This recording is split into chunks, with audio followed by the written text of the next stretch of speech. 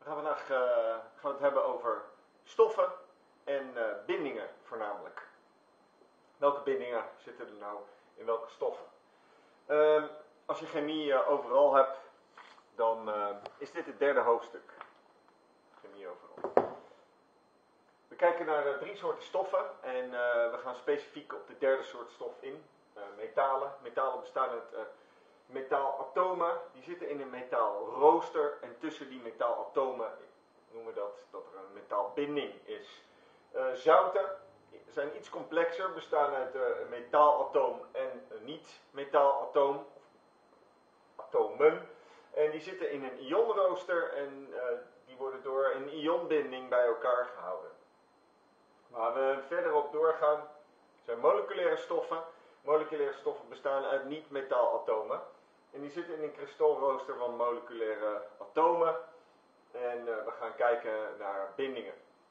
Dan moeten we een eh, tweedeling maken in welke bindingen er eh, zijn. Er zijn intramoleculaire bindingen en er zijn intermoleculaire bindingen. Intra is binnen en inter is tussen.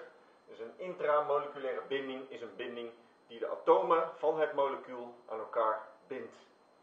In het geval van een moleculaire stof het covalente bindingen en een synoniem voor een covalente binding is een atoombinding. Je mag dus niet een molecuulbinding noemen. Covalent of een atoombinding. Intermoleculair zijn er meerdere bindingen mogelijk. Er zijn meerdere bindingen tussen verschillende moleculen mogelijk. Een van de, een van de, eh, eerste, die we, de eerste die we bespreken is de Van der Waalsbinding. Die is ontdekt door meneer Van der Waal. En eh, de Van der Waalsbinding, er is een aantrekking tussen twee moleculen. En die aantrekking, ehm, ja, die verklaart een deel de hoogte van het kookpunt van een bepaalde stof. Ja, dus eh, de binding tussen moleculen is heel klein. Die verklaart iets wat we in een echte wereld of in een practicum kunnen zien. Dat is heel groot. Dus micro ten opzichte van macro. Die aantrekking tussen die moleculen die kunnen we verklaren dus deels met die van de Waalsbinding. En wat blijkt als die moleculen groter worden, dan wordt die aantrekkingskracht die van de Waalsbinding die wordt sterker. En blijven die moleculen meer aan elkaar zitten. En gaat het kookpunt omhoog. Dus als we verschillende moleculen met elkaar vergelijken, die een steeds grotere, een, eh, grotere massa hebben, of complexer zijn, groter zijn, meer atomen bij zich hebben, dan wordt die van de Waalsbinding die wordt sterker door die aantrekkingskracht en ligt het kookpunt ligt steeds hoger. Ehm, maar ook als het contactoppervlak ja, eh, tussen moleculen, als die, als die groter wordt, dan wordt ook de van de Waalsbinding sterker. En dan is het kookpunt ja, is dus ook hoger. Waarom heb ik het over het kookpunt? Nou, kookpunt is, is iets, hè, dat is, eh, dan gaat de, de stof van de vloeibare fase naar de gasfase. En dan worden dus niet intra, maar intermoleculaire bindingen, die worden verbroken. Dus de bindingen tussen de moleculen, die worden verbroken. En dan gaan die moleculen de gasfase in. Op het moment dat ze bij elkaar blijven, zitten ze nog steeds in de vloeistoffase. Of misschien wel in de vaste fase. De bindingen binnen het molecuul die blijven intact. Want we blijven dezelfde stof houden. We gaan niet ontleden. Ja? Dus probeer dat goed uit elkaar te houden. En daar zijn hele leuke eh, proefwerkvragen over te stellen. eh, om te kijken of je door hebt welke van die bindingen worden verbroken. Goed, dan, eh, dat is die van der Waals eh, binding. We kunnen ook nog een polaire binding hebben. Die polaire binding die is, eh, die is, wat, die is bijzonder. Daar moet je wat rekenwerk aan doen. Daar heb je Binas 40a voor nodig en daar kan je kijken wat het verschil is in elektronegativiteit tussen twee atomen. Dus stel je voor, ik heb het koolstofatoom en het waterstofatoom. Dan kan je in tabel 40a kan je opzoeken wat de elektronegativiteit van koolstof is, van waterstof en het verschil daartussen. Ja, dat zegt iets over wat voor een soort binding je hebt. Zit dat verschil tussen 0,4 en 1,7, dan spreek je over een polaire binding. Maar is dat verschil 0,4 of minder, zoals bij C en H, dan is het een apolaire binding. In het geval tussen zuurstof en waterstof zitten we zeker, hè, zitten we hier tussen. Dan kan je dus opzoeken wat is zuurstof, wat is waterstof. En het verschil daartussen zit tussen de 0,4 en 1,7. Wat betekent dat nou? Nou, in dit geval is het hoogste getal, dat is zuurstof, dat trekt wat harder. Hè, dat zuigt zeg maar die elektronen naar zich toe.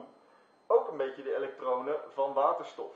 Dus waterstof, die elektronen die verhuizen een klein beetje richting de zuurstof. Niet helemaal, anders dan, dan zouden we te maken hebben met zouten. Ja? Bij zouten verhuist het, het elektron van ene atoom naar het andere atoom. Dat is hier niet het geval. Uh, maar een klein beetje. Het verhuist een klein beetje die richting op. Maar een elektron is negatief geladen, weten we. En dus krijgt het zuurstofatoom krijgt er een beetje meer elektrische of, uh, elektronegativiteit bij. Dus negatieve lading. Dat is dat rare D'tje, dat is een Griekse D, de Griekse delta. Ja, dat noemen we een klein beetje. Dus als je dit ziet staan, dan betekent dat een klein beetje minlading. Aan de andere kant verliezen deze twee waterstofatomen een klein beetje negatieve lading, want dat elektron zit iets verder weg van ze. En dit wordt dus een klein beetje positief. Op dat moment hebben we dus dat een polaire binding die zorgt voor polariteit in ons molecuul. En dat is bijzonder. Nou hebben we een dipolmolecuul. Die staat voor twee. Hij heeft dus twee polen. Een pluskant en een minkant.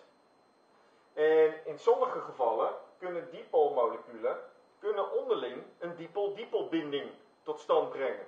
En de bekendste dipol-dipolbinding is een waterstofbrug. En die heb ik hier uitgetekend. Stel je voor, ik heb twee moleculen. Dit is allebei, is dit ethanol. Uh, misschien weet je dat, anders neem je het van mij aan.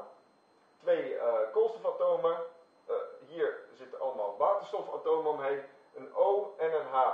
En precies hetzelfde wat er hier optreedt, gebeurt er ook hier. Dus mijn O is hier een klein beetje min, maar mijn H van het andere uh, molecuul is een klein beetje plus. En die trekken elkaar aan. En dat geldt dus tussen een OH-groep van de ene en een OH-groep van het andere molecuul. Want we hebben het over intermoleculaire binding. En dat geven we aan met een stippellijntje, als je dat ziet. Ja, dat zijn vaak huiswerkopgaven die je moet tekenen. En dan tekenen we altijd een stippellijntje. Dat is een afspraak. Dat is een afspraak die scheikundigen met elkaar hebben, hebben gemaakt. En jij mag daar niet zomaar dan een ander lijntje van maken. Nee, een waterstofbrug teken je met een stippellijntje. Dat is ook belangrijk voor je eindexamen. Um, en die waterstofbrug is heel sterk. En dat is de reden, dat is de reden dat in dit geval um, ethanol ja, uh, aan elkaar kleeft, maar ook water kleeft aan elkaar. Veel meer dan je op basis alleen van die van de Waalskrachten, van die Waalsbinding mag uh, voorspellen. Dus dat water, dat is een relatief klein molecuul. Uh, door die van de Waalsbinding zouden we kunnen voorspellen dat het een bepaald kookpunt heeft, maar dat kookpunt ligt veel hoger. En dat is te verklaren ja, met, uh, met die dipol-dipol-binding, wat we een waterstofbrug noemen. Dus die watermoleculen die kleven aan elkaar, die blijven veel sterker aan elkaar zitten door middel van die intermoleculaire binding. Het is dus veel moeilijker om die watermoleculen tot de gasfase te brengen. Dan moeten we ze verhitten tot 373 Kelvin. En dan pas kom, kom, komen die watermoleculen in de gasfase en worden die intermoleculaire bindingen die worden verbroken. Hele mond vol, een hele hoop informatie. Hou vooral die intra- en intermoleculaire bindingen, hou die uit elkaar. En onthoud dat we steeds bezig zijn hier met moleculaire stoffen, dus niet met zouten of met metalen. Heel veel succes!